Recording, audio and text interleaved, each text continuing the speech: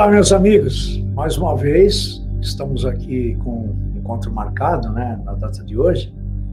A intenção de eu estar entrando aqui é que eu tive um tempinho afastado aí devido a algumas atividades, mas eu não esqueci não.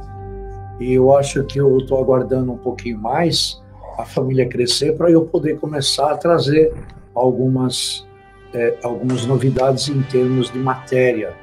Eu, inclusive, agradeço a presença de todos vocês, o Rubem Vieira Mello, que está praticamente adentrando aqui o canal, né? É, o Rubens Alfa Júnior, que agora são dois Rubens que estão aqui fazendo parte do nosso canal, que eu desejo aí que seja bem-vindo. A Glauci Lima também, que adentrou aqui alguns dias aí, também agradeço imensamente a colaboração por parte de vocês que estão acreditando que o nosso canal pode realmente exercer uma boa atividade e conseguir trazer bastante coisa interessante, que é a minha ideia. Aproveitando o meu companheiro de aventura, que foi lá o Reginaldo Pedroso também, eu mando um abraço para ele, né? E peço que aguarda mais um pouquinho, que eu vou procurar colocar algumas matérias aqui. A Mary Ramos também, que eu falo quase todo dia, todo dia com ela, agradeço imensamente a força que tem dispensado ao canal.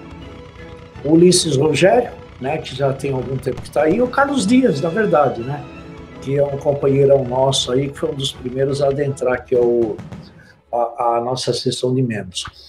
A ideia básica nossa aqui é, eu estou esperando realmente aguardar para que tenha pelo menos umas 20 pessoas, é colocar, porque é, eu, eu, tenho muita coisa para, por exemplo, dizer, né? Eu tinha colocado alguma coisa referente a, a que eu queria passar para vocês, alguma coisa que eu escrevi aqui nos arquivos insólitos, que eu acho que é uma matéria muito legal. É, deixa eu ver onde está aqui, porque é, eu tenho aqui uma. Eu até encontrei aqui uma versão. Essa versão é uma versão reduzida, tá? É uma versão reduzida dos arquivos insólitos. Eu acho que está até. Tá, tá, tudo bonitinho aqui. É, como faz algum tempo. É, realmente, é essa mesmo, né? tem razão. É. Essa aqui foi uma última eu andei enxugando bastante alguma coisa que tinha nos arquivos insólitos, porque acabou ficando um livro muito grande, né? Então fica muito complicado é, ter que, no caso de publicar. É, Para que não, vocês não saibam a história, isso há muitos anos atrás, foi em 1996, eu tentei publicar esse livro e tal foi minha surpresa, é que ele acabou ficando muito caro. E a editora é, não quis investir num autor novo, né? Porque era um autor novo. E é claro, eles com toda razão, né? Eles vão investir, por exemplo, em um livro é, muito grande, que ia ficar caro, e depois ia ter problemas às vezes para vender, porque é fácil você vender um arquivo, um, um livro assim de um autor famoso, não precisa ser nem escritor, basta ser, sei lá, um cara conhecido. Vai, o livro do Tiririca, por exemplo, vai, né? Que é uma personalidade que todo mundo conhece. Então, quando faz assim, realmente o pessoal investe porque sabe que é venda na certa, porque a pessoa é conhecida. No caso do Edneu aqui, que não era conhecido na época, né, talvez hoje é, algumas pessoas me conhecem pela rede, provavelmente até daria para fazer. Mas a ideia não foi essa, não. Né? Então, eu tenho aqui uma, uma capa que foi sugerida, uma capa dos arquivos insólitos, né? Tá? É uma capa aqui que é, eu andei fazendo ao longo do tempo. E tem uma matéria que eu. Deixa eu ver como começou, que faz tempo que eu não fiz. É, essa edição, vou ver se tem aqui a data quando foi feita, mas acredito que já faz algum tempo, viu? Pelo menos essa, essa parte aqui tem pelo menos uns 10 anos. E eu já passei mais ou menos um retrospecto dos capítulos que eu estou querendo abordar, eu acho que até já coloquei aí. E vocês me perdoem que eu faço tanta coisa que às vezes eu não lembro. E agora com esse negócio de estar tá fazendo é, nesse canal normal, de estar tá fazendo na área de membros, e tem alguma coisa que eu já faço no outro canal, então minha cabeça às vezes vira parafuso, eu não consigo lembrar onde eu fiz, eu tenho que ficar aqui procurando. E eu tenho muitos livros, né? Então tem coisas que eu falo aqui dos os mistérios ocultos.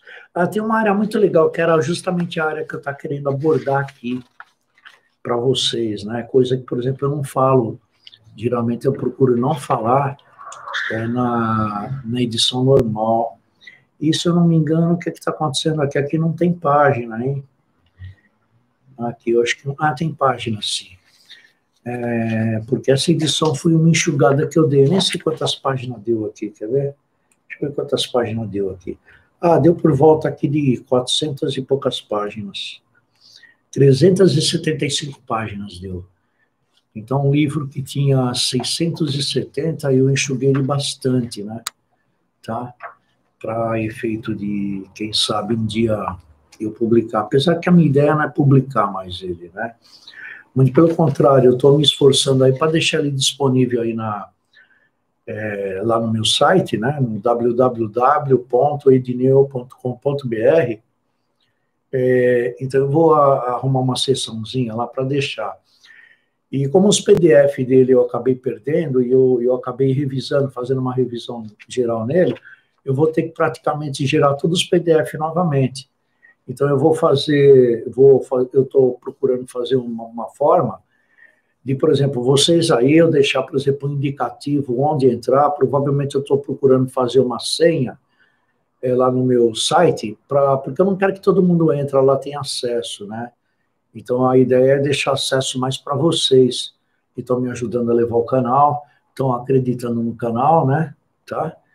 Com o qual aqui eu agradeço imensamente, porque está me motivando a eu fazer material desse porte.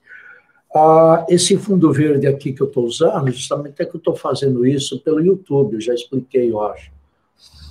Então é um fundo que eu tenho aqui, chroma key, né, para quem conhece o sistema, onde eu coloco as imagens, né, eu posso colocar a imagem que eu quiser aqui, que é um recurso que o estúdio aqui tem.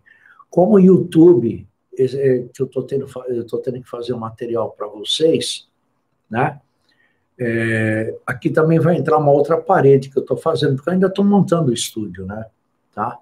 Tem uma outra parte que vai ser sobressalente aqui em cima desse fundo, que não está pronto ainda. O dia que eu fui fazer, choveu a semana toda, aí não deu, né?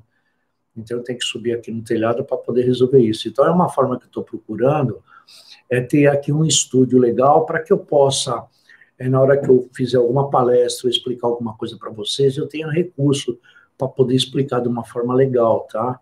Apesar que, é claro, eu não sou professor, mas tem muita coisa é, que eu conheço de âmbito é, de, de, da vida em si, é, de algumas experiências que eu tive que eu realmente eu posso repassar para vocês. Eu tenho umas histórias fantásticas, tá?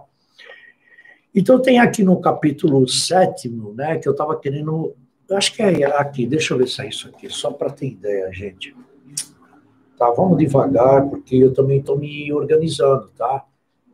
Esse é o problema, estou me organizando. Mas na hora que eu engatar uma terceira marcha, é, é que eu falo aqui o sentido da nossa existência, que eu acho que já até comentei, né? Se eu não me engano, eu já comentei isso. É, o universo de causa e efeito, a vida da a fonte da vida eterna e o infortúnio, né? Alguns é, alguns itens que eu abordei, que eu abordo aqui nesse livro, né? Mas eu queria pegar aqui mais, é uma matéria que eu gosto e eu acho que eu consigo é, passar legal para as pessoas, porque eu tenho como ilustrar de coisas que já ocorreram, por exemplo, na minha vida, né?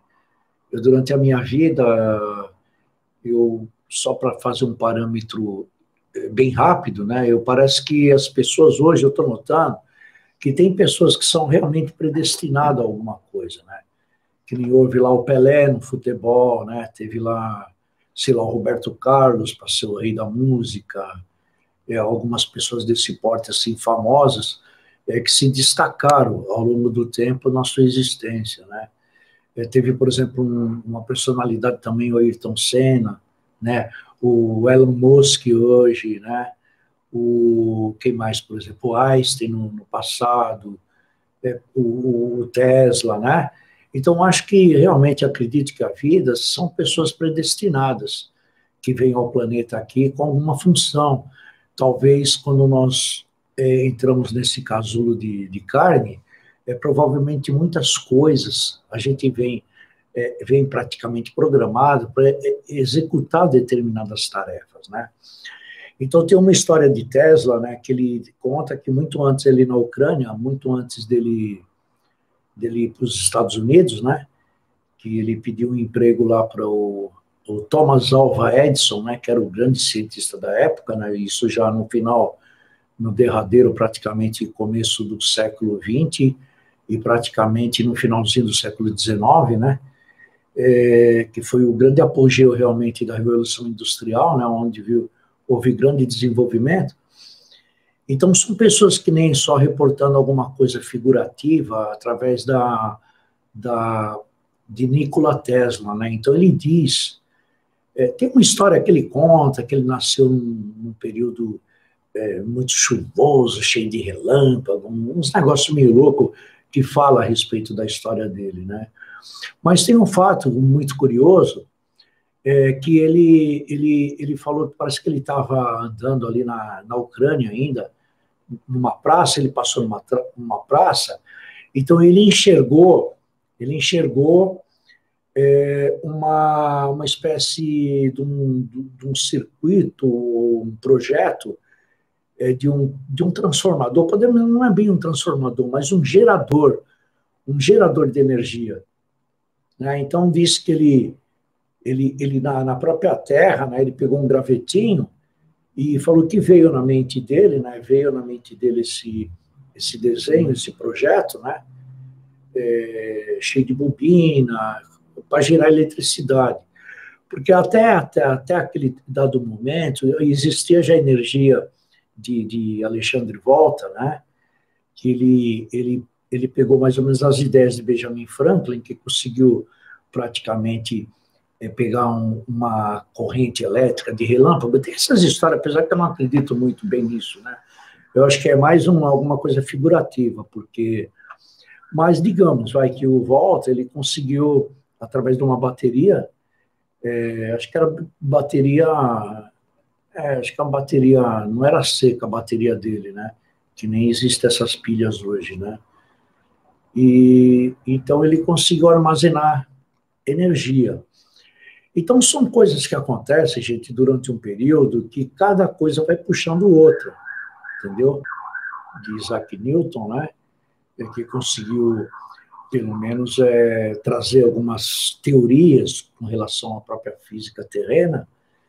E então logo depois houve o aparecimento de vários cientistas e estudiosos que trouxeram cada um trouxeram alguma coisa é, para, digamos, para a humanidade, trouxe o seu legado. É uma pena que eu não estou com quadro aqui, por isso que precisaria ter um quadro aqui, porque algumas pessoas não sabem o que é isso. Também ninguém é obrigado a saber o que é uma corrente contínua e uma corrente alternada.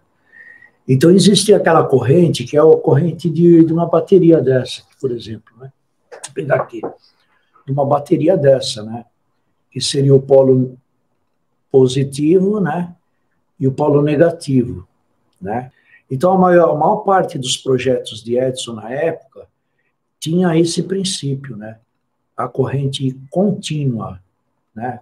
Contínua, que seria polo. Se eu falei alternado, eu, eu me enganei, tá? é contínuo. Polo positivo e polo negativo. Através disso, você pode acender uma lâmpada, você pode aquecer um, um filamento, é, várias coisas pode fazer, ligar um radinho, enfim, um comando de televisão, que todo mundo sabe para que serve a, a energia. Então, na verdade, na época, veja bem o que são pessoas predestinadas, né? Aí o Tesla, que diz a história, é claro que eu não vou lembrar o nome das pessoas, né? Teve um, uma pessoa é, que ele, acho que ele fez, eu não sei se ele chegou a fazer engenharia elétrica mesmo na Ucrânia, provavelmente, vamos supor que ele tenha, tenha feito lá.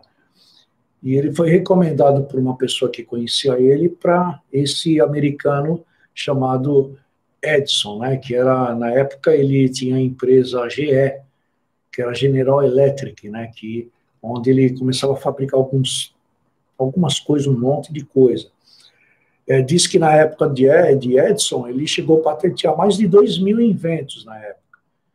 Então, ele nasceu num período certo, onde praticamente a energia de volta estava dando praticamente o, o apoio e o suporte para ser criado um monte de, de, de, utensílios na época, vamos por assim, né? Então o Edson trabalhava nisso e é onde ele estava num, num projeto realmente de fazer a lâmpada elétrica, né? Lâmpada elétrica, que é essa lâmpada que nós conhecemos hoje, lâmpada de filamento. E para você ver como são as coisas, pela história de Edson, ele, ele, ele para para ele criar ou desenvolver a lâmpada elétrica, que era de corrente contínua, tudo de Edison era de corrente contínua, tá? Existiam os dois polos. A corrente alternada, que veio oportunamente depois através do, é, do Tesla, onde teve condições de transmitir por mais é, por maiores distâncias, né? Que a corrente contínua ela dá um problema de potencial.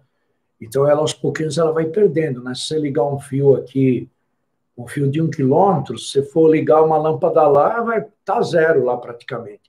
Então a corrente contínua ela acaba ela perdendo o seu potencial, né? Seu, é, através do, do fio. Então o Edson na época ele tinha uns cabeamentos gigantescos, que era grande assim os cabos. É que nem no caso desses cabos que ligam a bateria do automóvel, pode ver que são uns cabos mesmo pesados, que necessitava realmente disso para poder suportar a corrente contínua, né? a corrente alter... contínua, no caso. E quando veio o advento depois, quando o Tesla veio para ser empregado lá do, do Edison, né? Então, houve um, outros projetos que ele acabou desenvolvendo. Depois que eles acabaram brigando lá, que teve umas desavenças entre o, o Edson e o, e o Tesla, né? E o Tesla, o Edson acabou enganando em termos contratuais lá o, o Tesla, né? E ele ficou possesso, acabou abandonando, tal, lá, lá. Aí, como ele tinha um grande projeto, aí o Westinghouse na época, que também era um investidor e tinha a empresa que já até, acho que até há pouco tempo já existia ainda a Westinghouse, se não existe até hoje. Então ele assumiu o, o, quer dizer, ele praticamente ele financiou a construção é, dessa usina, né, que foi construída lá no, nas cataratas do Niágara, né, onde começou a pegar, tá, então foi da forma que ele conseguiu gerar energia. Então são pessoas que cada um teve seu papel, né, o seu papel para trazer determinadas coisas.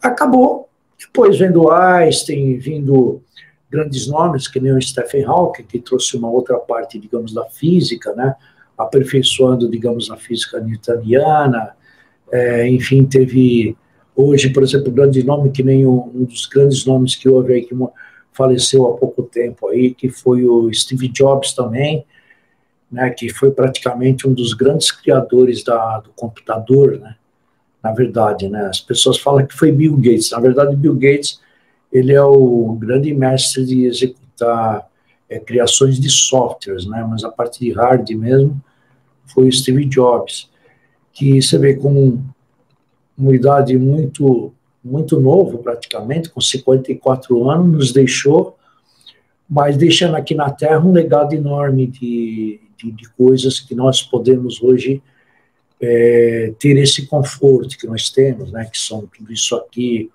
essas telas que também foi tudo coisa desenvolvida, tá, né, entendeu? Então é isso, só aqueles legados, né, que esses homens trouxeram aqui para a nossa humanidade, que você quando vai ficando com mais idade, você passa a ter um discernimento maior das coisas que aconteceram. Então você começa, começa a lembrar coisa que aconteceu lá atrás, e você começa a colocar uma coisa com uma, uma coisa com a outra, outra com a outra, outra com a outra, e tal foi o, o, o fator que eu acabei chegando, é, que é sobre esse problema, que tem pessoas realmente que são predestinadas a fazer determinadas coisas. Eu, por exemplo, eu estudo a, eu estudo a, eu não sei também porquê, né? Eu estudo, por exemplo, o desenvolvimento das raças já há muito tempo. Né? Eu ouço, por exemplo, até no YouTube mesmo, eu ouço amigos meus até, que é completamente contrário e tem argumentos fortes é, para dizer o contrário do que eu digo. Mas eu não me importo. Eu não importo que toda coisa nova que às vezes você traz, existe sempre um primeiro impacto, né? As pessoas realmente vai ter pessoas para criticarem. Então, por isso que em toda a minha vida eu nunca mostrei muito minhas coisas, né? Você vê no meu outro canal que eu tenho, que também chama Edineu, acho que é Edineu de Almeida que chama, canal de Edineu. Acho que chama Edineu de Almeida, Edineu Almeida, nem lembro direito o nome do canal, que é o mesmo nome. E é uma espécie de depósito que eu guardo muitas coisas que eu tenho feito ao longo do tempo, e muitas delas eu nunca mostrei para ninguém. Eu tenho várias coisas que eu nunca mostrei para ninguém. Nunca ninguém viu, tá? Você vê, eu tenho poesias, eu tenho muita coisa que eu nunca mostrei para ninguém. Nunca mostrei para ninguém, tá? Eu tenho coisas escritas minhas que também eu não mostro para ninguém, eu escrevo, é, que nem eu fiz isso aqui. Isso aqui ainda as pessoas viram, né? Isso aqui as pessoas ainda viram, né? Tá? Mas eu tenho muita coisa que ninguém viu, entendeu? Que é. Você vê. Né? Tem esse aqui, por exemplo, que nunca ninguém viu. Acho que a única pessoa que viu, acho que foi minha, minha esposa que leu isso aqui, porque ela me ajudou uma época a revisar. Eu acho que uma secretária que eu tinha, que ela me ajudou a, a, a, a fazer umas correções, né? Tá? Então, eu nunca fui de mostrar, porque eu nunca tive interesse de, de fazer isso para mostrar para as pessoas. O meu interesse foi sempre eu procurar aquelas coisas que eu, eu penso, aquelas coisas que eu descubro, eu colocar aqui, né? Como eu tenho um livro também, ele é grande, eu nem sei quantas páginas tem. Eu não tenho mais ele. Eu dei para um amigo, tá? Eu nem sei se esse amigo é vivo ainda, tá? Eu dei para um amigo. É, um livro de eletrônica. Então eu passei, acho que uns três anos, três ou quatro anos escrevendo. E, mas não é, não é eu escrevendo. O que, que eu fazia? Eu, quando estudava eletrônica, eu pegava aqueles databook, ia na Santa Ifigênia, e, porque são livros caríssimos, né, e a maioria é tudo em inglês, né, são livros caros. Então eu não tinha dinheiro para comprar um livro daquele, para um livro de mil reais, né, nem dá, né, nem hoje eu compro, sem chance, né.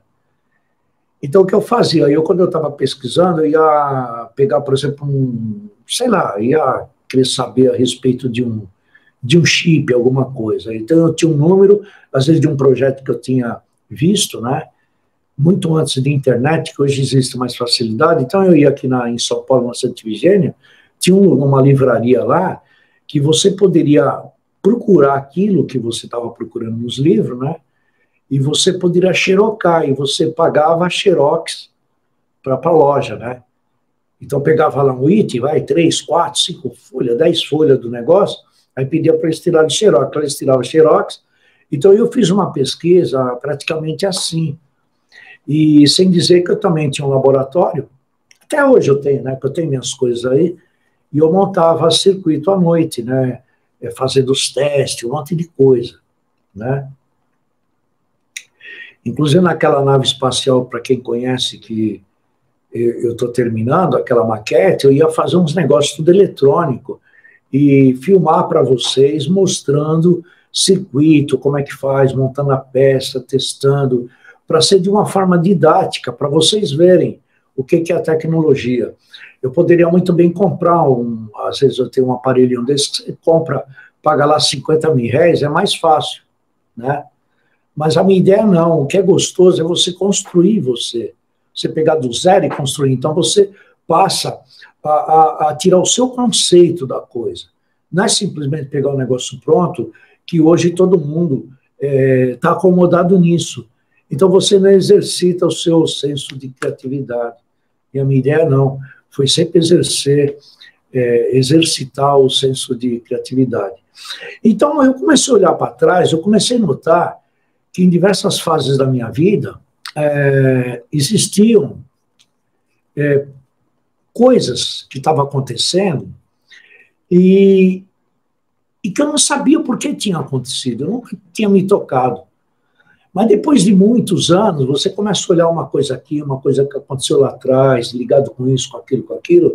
Eu comecei a notar que existe uma razão realmente para eu, talvez hoje, estar tá aqui num canal, eu tentando assim, abrir a cara aqui e falar aquilo que eu penso, não é aquilo que eu li aqui no YouTube, eu estou passando aqui para vocês. Então, acho que a diferença que existe é, hoje nos youtubers né, é isso. É porque é simples você pegar alguma matéria que o outro desenvolveu, quebrou a cabeça para fazer, né, que tem todos os méritos daquilo, e você simplesmente chupinhar essa ideia e simplesmente trazer aqui para os seus membros ou trazer para as pessoas que acompanham o canal. Então, no meu caso, não foi assim. Né? Agora que eu estou procurando fazer alguma coisa de esporte, é, fazendo jornal. Né? Hoje eu até falei uma matéria interessante que é o lixo espacial. Então, pegando coisas de tecnologia e, e passando assim, olha, gente, aconteceu isso, tarará, tarará, ah, entendeu? Aí eu também coloco alguma coisa dentro do meu conceito do que eu acho, né? Pego o conceito dos técnicos, pessoas que pesquisaram a respeito, né? Tudo bem, é até legal, né? Entendeu? Porque é uma forma de você estudar, é uma forma de você também passar um tipo de informação é, para as pessoas do canal. E a minha ideia é justamente que eu estava vendo essa parte aqui, deixa eu pegar novamente aqui, acho que até separei, é, que está falando sobre. É. Então eu estava querendo justamente falar sobre materialismo e empiricismo, né? Para quem não sabe o que é isso, isso aí é a ciência do visível e a ciência do invisível. Então eu, como realmente acredito, é, dentro das minhas pesquisas que eu fiz no passado sobre a, a, a própria evolução do ser humano, né? Eu tenho notado que muita coisa já foi transformada, digamos, do homem, digamos, de 1920, 1940, para o homem de hoje. Então, se você pegar, começar a olhar fotografias, pegar umas, umas manchetes antigas, é, é, pegar filmes antigos, né, aqueles filmes até preto e branco ainda na época, você vai ver como o homem mudou como a sociedade mudou. Eu não estou falando nem a sociedade de mostrar aqueles carros antigos que tinha antes e mostrar esses carros modernos, não é isso.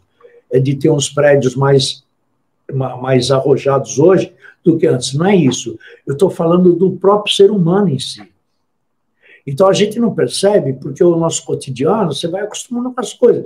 É a mesma coisa, você tem um filho, aí tem uma hora que você para, pô, mas que legal, né? Poxa, como, aí você lembra quando ele era pequenininho, que ele aprontava tal, né? Aí dá aquela saudade. Mas, no entanto, você nem percebeu seu filho crescer, né? Porque veio assim, se convivendo, convivendo, convivendo, você não percebe. Então, todas as mudanças você acostuma, né? E, então, eu, eu lembro que eu, muito cedo, né? Aí é que entra aqui no caso, que eu queria passar para vocês eu não sei o que aconteceu, também não me pergunto por quê, porque eu acho que existe uma coisa que cada um é predestinado a alguma coisa. É, eu, não, eu acredito que todo mundo aqui está por um acaso. Né? Existe uma razão de estar aqui, existe uma proposta para trazer aqui, para fazer parte, digamos, da nossa existência, de uma existência, e, e todo mundo é importante, né? A gente não pode descartar ninguém. Né? Como eu digo, talvez uma formiguinha aqui no planeta, uma formiguinha que às vezes a gente acha que não é nada, ele tem uma função dentro do planeta, né? Porque a natureza realmente ela é sábia e metódica. Então nada é por acaso, nada por acaso. E eu comecei a notar algumas passagens assim, desde o tempo de garoto, né, quando eu era adolescente, aí quando eu já fiquei mais moço tal, né? E eu comecei a fazer uma somatória e eu quis entender é, as coisas que aconteceram comigo e que me trouxeram uma experimentação para poder ter um entendimento em alguma coisa que eu acredito que eu devo estar tá chegando lá. Eu ainda estou aprendendo, tá? Porque a cada dia eu aprendo e hoje eu estou aprendendo mais porque eu tenho um canal aqui que eu posso, eu posso também fazer alguma coisa e, e realmente é, é, participar e, e, ajuda também a eu lembrar essas coisas, né? Porque eu contando isso para vocês, eu lembro dessas coisas. Então eu lembro que eu, muito garoto, já 12, 13 anos, eu sempre, eu, eu sempre acreditei que existia um outro lado da matéria, né? do outro lado da matéria. É, não sei se seria antimatéria. Provavelmente nessa época eu acreditava na antimatéria. Mas é, o meu conceito era diferente, é claro. Né? Hoje, é claro, eu tenho uns conhecimentos técnicos mais aprofundados, então dá para me ter entendimento, melhor. E eu, eu sempre quis poder ter, entender o que seria a mente, o que seria a, a possibilidade de você exercer determinadas funções no universo através do seu pensamento, a sua força de querer, o estar, o desejar, entendeu? Então, muitas coisas eu consegui provar para mim mesmo é, que qualquer um de nós pode exercer influência na materialidade. Podemos, a gente exerce o tempo todo influência, só que a gente não percebe. Então, que nem os seus filhos acabam sendo espelhos de você, do pai e da mãe, né? E assim vai indo. Uma outra coisa que eu estava vendo aqui é o seguinte, então, é que eu estou falando, a, a ciência do visível e do invisível que emanam forças que estão ocultas na natureza, né? E é, é, uma alquimia dos elementos primários da espiritualidade. Então aqui você começa a ditar determinados parâmetros que para você estudar que não é só a nossa existência, não é só isso aqui, o nosso corpo de carne e osso, né? Existe um outro lado que está operando aqui é, com você. E quando você toma ciência disso, você vê como as coisas mudam, como tua cabeça muda, como as suas atitudes mudam, um monte de coisa mudou, como mudou ao longo da minha vida um monte de coisa. Então, hoje eu olho para trás, sabe o que eu vejo? Que essas coisas, essas experimentações, coisas que aconteceram no meu passado, foram coisas para me mostrar realmente a natureza das coisas. Foi para provar para mim mesmo. Só que provou para mim mesmo. Eu não tenho como provar para vocês, porque são experiências individuais. Você precisa ir à busca e, e, e correr atrás dessas pesquisas. Eu, quando eu já pensei isso, já lá quando era garotinho, garoto mesmo, oito, nove anos, dez anos, já pensava essas coisas, já tinha um monte de minhoca na minha cabeça. Você pensa, eu passava tanto tempo pensando, pensando, pensando, como até hoje. Eu não perdi. Isso aí nunca me deixou louco, nunca me desgastou, tá? Né?